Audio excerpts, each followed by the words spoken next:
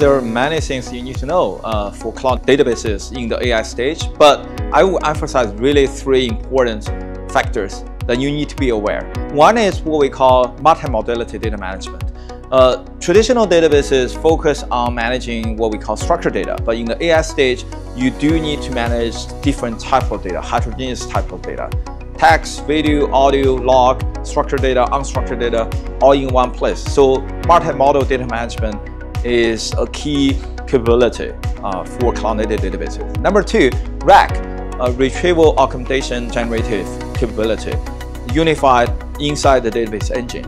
So using RAG, enterprise can build so-called knowledge base for their enterprise applications by grabbing different types of data into a RAG databases with vector processing capability, vector storage, indexing, and retrieval, and working hand in hand with a large language model you can drive intelligence out of your data in real time. Lastly, AI in SQL, meaning writing a SQL statement with inference call out to a large language model unified in a simple manner. In other words, this is called model as operator.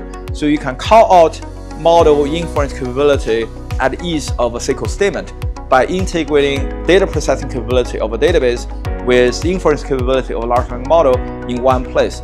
That's called AI in SQL.